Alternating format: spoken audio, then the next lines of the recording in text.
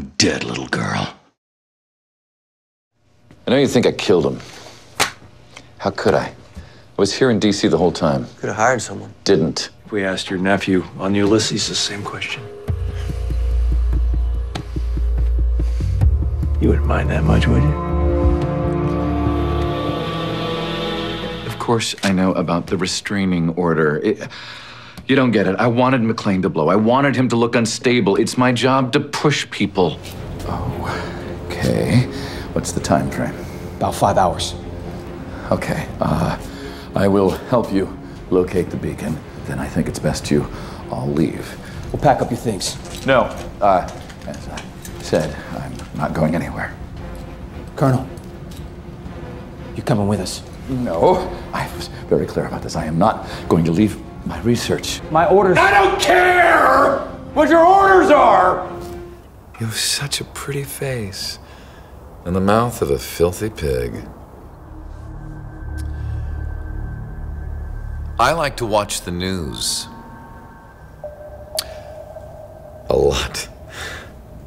I do this because I am what they call a featured guest.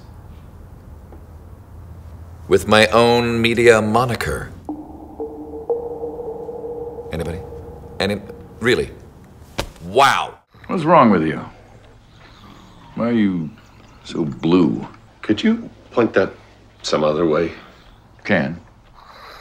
Whoa. You were telling me your business. My daughter and I got separated from our group.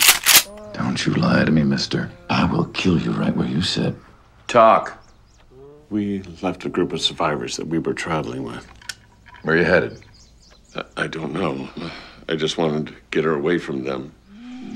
I ought to shoot you for bad parenting. It's all the same to you. I prefer my client not be asked any more questions. Mr. Norris, I'm Bill Moss. From now on, please don't speak to anybody outside of my presence. I've been retained to represent you. By whom? We're done here. Um, I'm. I'm sorry. I.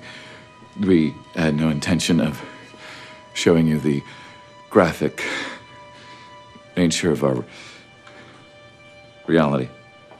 Um. Stop! You're not listening to me. He's dead. No, you get down here! You get down here so we give this. Give this fucking bitch what she deserves! God damn it! Tell me, what kind of trouble did you get yourselves into?